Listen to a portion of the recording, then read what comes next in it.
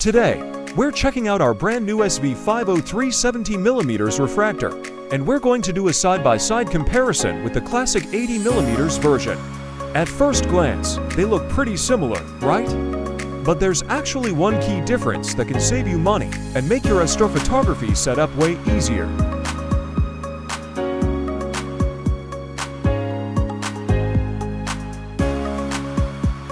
The biggest highlight of the 70mm is the built-in field flattener, which means it's ready to shoot right out of the box.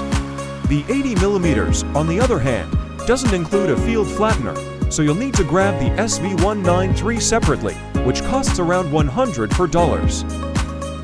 Next, let's take a look at the full setup for both scopes.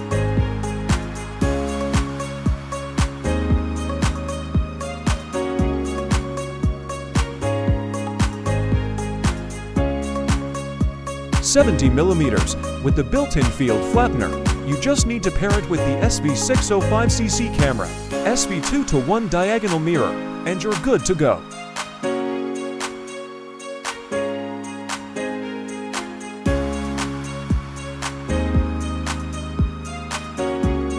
Eighty millimeters. Since it doesn't have the built-in field flattener, you'll need to add the SV193 field flattener first, plus the SV605cc, SV227, SV226 to get the complete setup ready.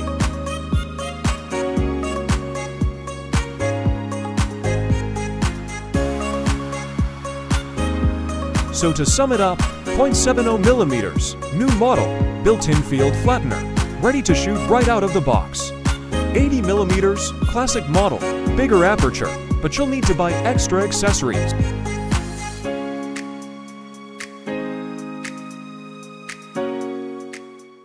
Of course, both scopes deliver amazing images.